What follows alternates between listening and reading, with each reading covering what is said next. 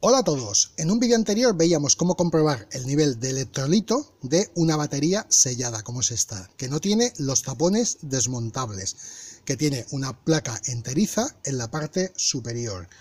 Comentábamos que el método es sencillo, se pueden realizar unos pequeños agujeros con una broca de un milímetro, donde estaría serigrafiado cada uno de los tapones superiores, donde tendría la tapa el serigrafiado de tapones, perforábamos con el taladro, lo dicho, hacíamos un agujero y a posteriori con un cablecillo fino, un cablecito de un milímetro de tipo telefónico, podíamos introducirlo, cablecillo rígido, y podíamos ver el nivel a donde llegan el ácido.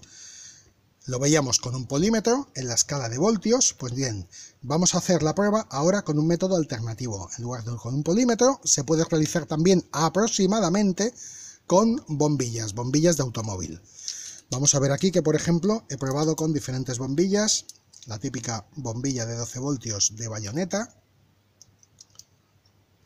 la bombilla de luz interior, que no da excesivamente luz, o de matrículas en algunos vehículos, la bombilla de intermitentes, o del tablero, también nos puede servir. Lo dicho, se puede probar con todas ellas. Incluso he llegado a probar con bombillas de menos de 12 voltios, con bombillas de 3,6 voltios, por ejemplo una de luminaria de emergencia, y la misma también puede medir, pero bueno, no podemos excedernos con la prueba ya que podemos quemar la misma, se nos puede dañar. Pues bien, vamos a ver cómo realizaríamos la prueba.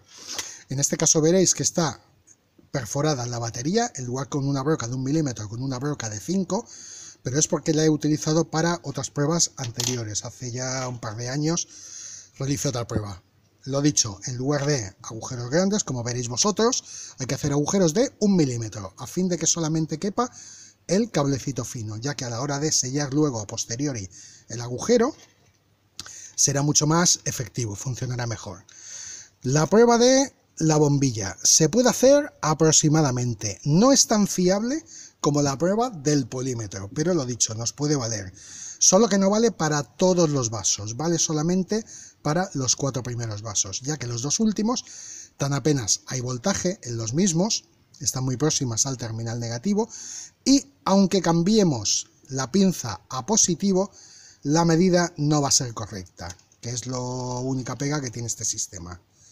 Tal como veis, introducimos y en el momento que se ilumine la bombilla estamos detectando nivel de ácido, comprobamos otra, comprobamos otra, comprobamos la cuarta y ya que tan apenas se enciende, si comprobásemos la quinta, la misma no se encendería, tal como veis, porque no hay nivel de voltaje, y la problemática es que si cambiamos la pinza de lado, que sería la teoría, tiene que funcionar, pues no, no funciona.